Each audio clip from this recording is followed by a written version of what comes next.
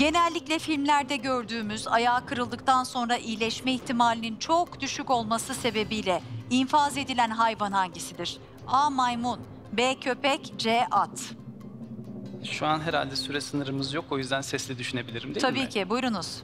Direkt şıklardan yola çıkmak istiyorum açıkçası. Maymun olamaz çünkü ya insanlarla çok bir bağlantısı olan bir hayvan değil, evcil bir hayvan da değil zaten. Köpek düşündüğümüzde hiçbirinin başına gelmesini tabii ki istemeyiz bu hayvanların. ki. Doğrudan at cevabını veriyorum. C at. Onaylıyor musunuz? Onaylıyorum evet. Bakalım.